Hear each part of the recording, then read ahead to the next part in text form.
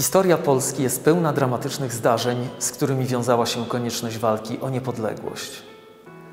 Na przestrzeni wieków suwerenność naszego państwa i bezpieczeństwa obywateli zawdzięczaliśmy męstwu, odwadze i ofiarności żołnierzy, którzy strzegli w ten sposób naszych najcenniejszych wartości zamkniętych w trzech dumnie brzmiących słowach: Bóg, honor, ojczyzna.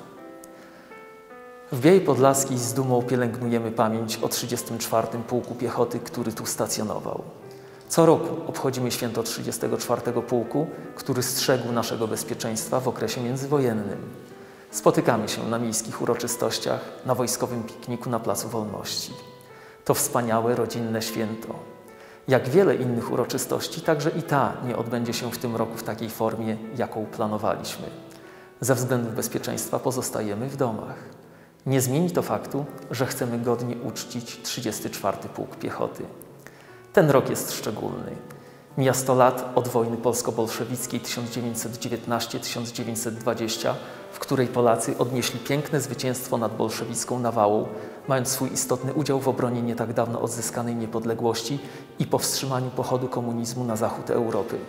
34 Pułk Piechoty wpisał się chlubnie w walki o niepodległość II Rzeczpospolitej w latach 1919-1920.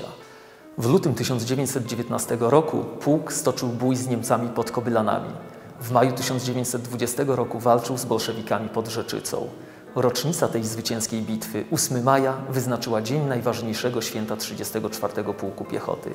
To męstwo na polu walki zostało docenione przez marszałka Józefa Piłsudskiego w sposób najpiękniejszy orderem Virtuti Militari dla żołnierzy. Z okazji setnej rocznicy walki pod Rzeczycą Muzeum Południowego Podlasia w Białej Podlaskiej przygotowało rocznicową wystawę poświęconą historii 34 Pułku Piechoty. Zapraszam Państwa na nią w nietypowy sposób, online. Od 11 maja możecie ją Państwo zobaczyć zarówno w internecie, jak i na miejscu w muzeum. Zgromadziliśmy tu dla Państwa niezwykłe dokumenty i pamiątki pieczołowicie przechowywane przez potomków żołnierzy 34 Pułku Piechoty oraz w archiwach. Dziękuję Bialczanom za piękny odzew i przekazanie tych cennych zbiorów, które możemy teraz eksponować w Muzeum Południowego Podlasia. Dziękuję także panu Andrzejowi Olichwirukowi za udostępnienie na wystawę swoich prywatnych zbiorów oraz pomoc w realizacji wystawy. Wyrazy wdzięczności przekazuję pani dyrektor Wioletcie Jarząbkowskiej oraz pracownikom Muzeum Południowego Podlasia oraz przygotowującej scenariusz wystawy pani Renacie Lenz.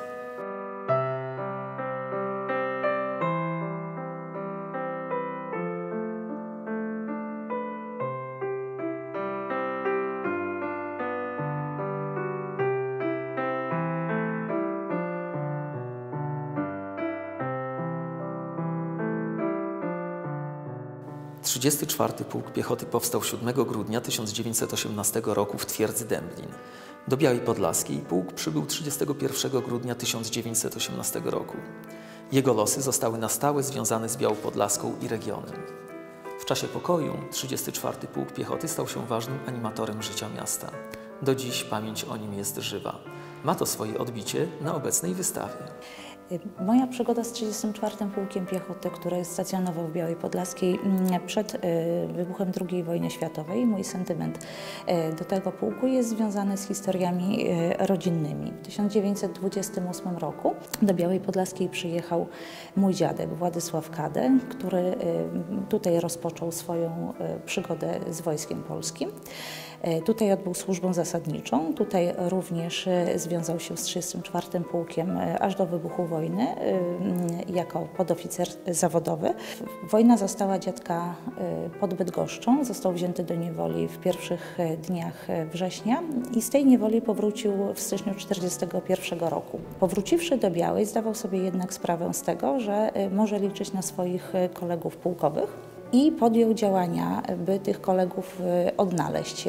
Niestety nie dane mi było y, zapoznać się ze wspomnieniami dziadka, dlatego że zmarł y, na kilka lat przed moim urodzeniem i właściwie wszystko, co kojarzę z takich wspomnień rodzinnych o 34 Pułku Piechoty to są wspomnienia babci. Można powiedzieć, że jest to pułk y, ujęty y, okiem kobiety. W tym spojrzeniu, w tych wspomnieniach y, dają się wyodrębnić takie dwa obszary. Pierwszy obszar to są te wspomnienia takie bardzo atrakcyjne, bardzo czarowne, związane z balami 34 Pułku, związane z życiem towarzyskim, ze świętami nie tylko państwowymi, nie tylko kościelnymi, nie tylko rocznicami narodowymi, ale na przykład z imionami marszałka Piłsudskiego, kiedy cała reformacka mm, była e, zastawiona wojskiem i społecznością lokalną, bo uczestniczyły w mm, tych e, obchodach czy w tych świętach e, nie tylko rodziny wojskowe.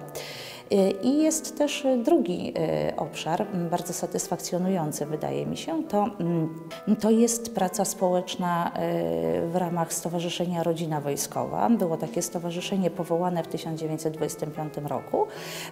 Ono jednoczyło żony oficerów i podoficerów Wojska Polskiego, zawodowych żołnierzy i panie działały w kilku sekcjach. Były, była, była to sekcja zdrowotna, sekcja e, kulturalno-oświatowa, sekcja opieki społecznej, a nawet sekcja e, związana z przysposobieniem kobiet do e, obrony kraju.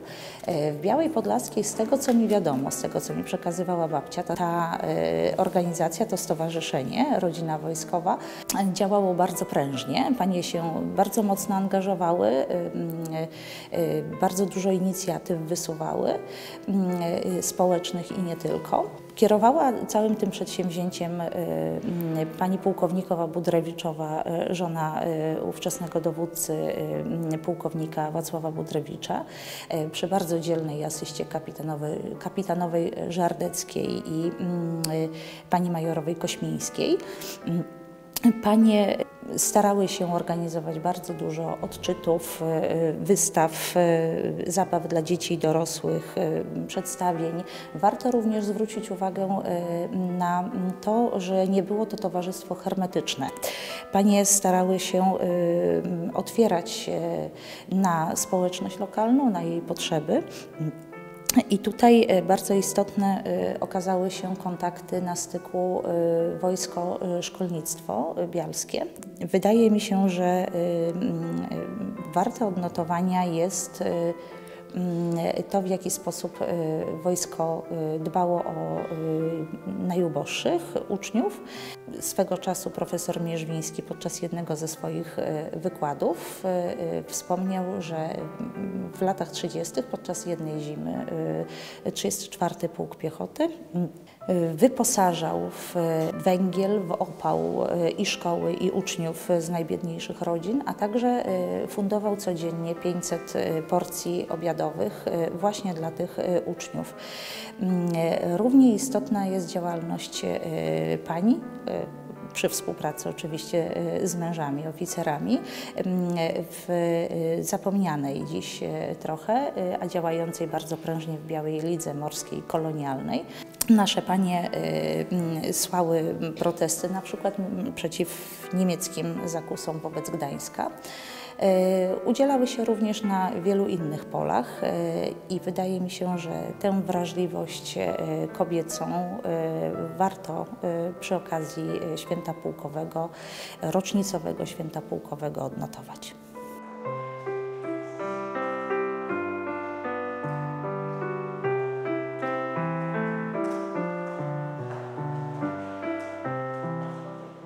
Tak często mijamy miejsca w Białej Podlaskiej, które są z 34. Pułkiem Piechoty związane. Na ulicy Warszawskiej znajduje się poświęcony mu pomnik, przy którym, jak co roku, tak i dziś złożyłem kwiaty w imieniu mieszkańców. Uczciłem w ten sposób także spoczywającego na naszym miejskim cmentarzu żołnierza 34. Pułku.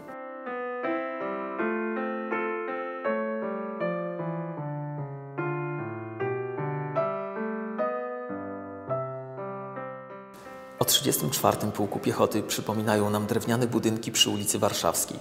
Budynek Ośrodka Szkolenia Zawodowego Kierowców, dawne kasyno oficerskie, jedno z najchętniej odwiedzanych przez bialską inteligencję tamtego okresu miejsc. Tu skupiało się życie towarzyskie i kulturalne miasta.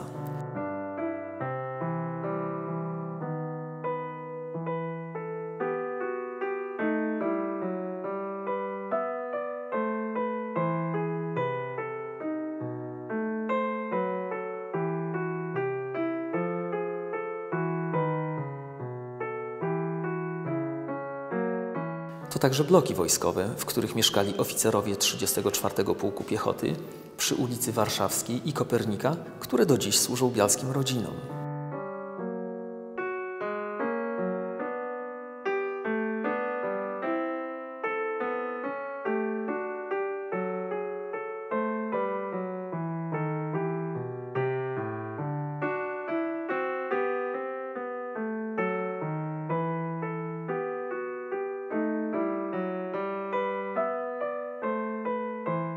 To generał Ludwik Bitner z 34 Pułku Piechoty zaprojektował pomnik Józefa Ignacego Kraszewskiego znajdujący się przed naszym pierwszym liceum ogólnokształcącym noszącym jego imię od strony ulicy Zamkowej.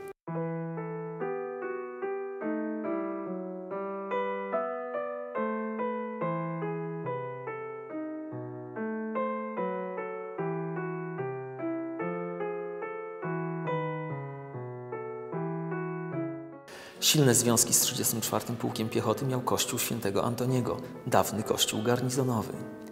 Żołnierze 34 Pułku Wyznania Prawosławnego chodzili na nabożeństwa do naszej cerkwi znajdującej się przy ulicy Terebelskiej.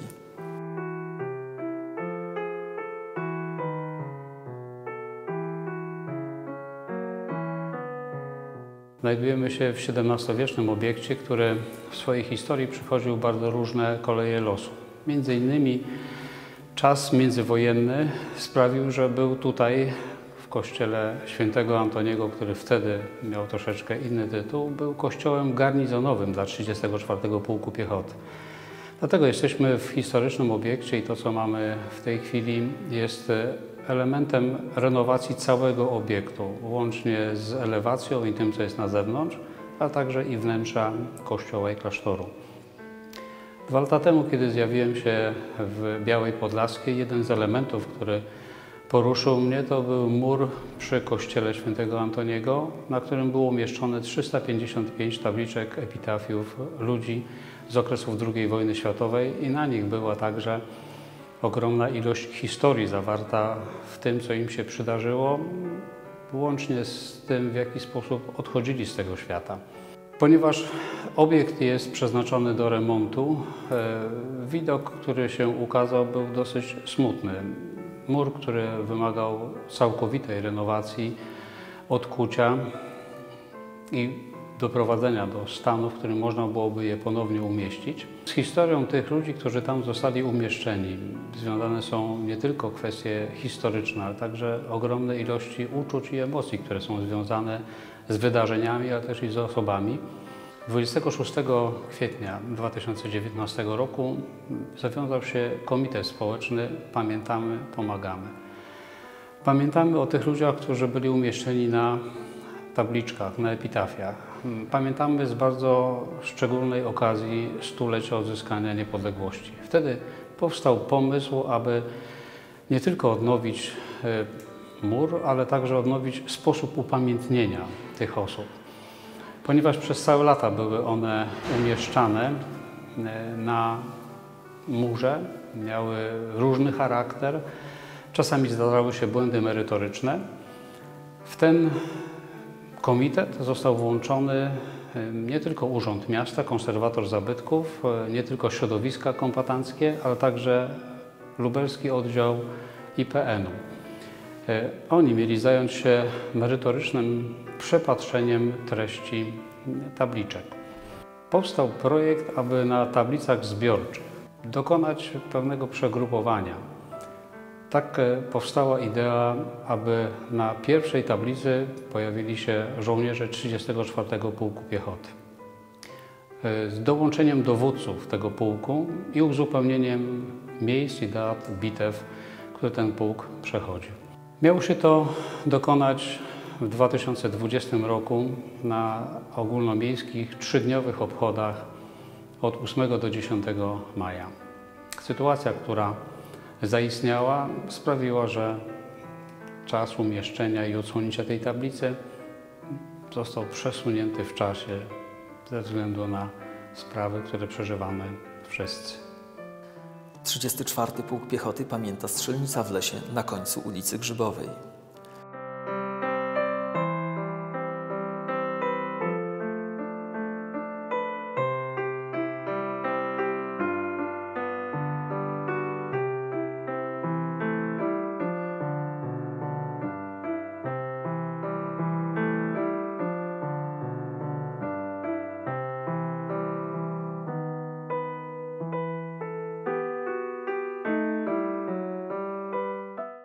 Ulica Droga Wojskowa i kładka na Krznie, gdzie dawniej był drewniany most.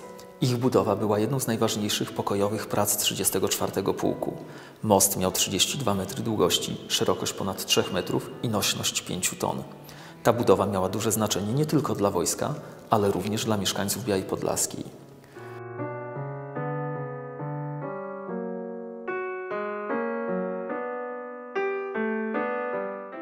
34 Pułkowi Piechoty zawdzięczamy nie tylko wspaniałe zwycięstwa na polu bitwy, ale też działania, które w latach 1922-1939 tak bardzo zmieniły Białą Podlaską. Bialski garnizon stanowił rynek zbytu produktów rolnych. Na terenie obiektów wojskowych znalazło zatrudnienie wielu Bialczan, co było bardzo ważne dla miejscowego rynku pracy. To z lokalizacją wojska wiązała się elektryfikacja miasta w okolicy Koszar, powstanie nowych ulic, a tym samym dogodnych połączeń komunikacyjnych.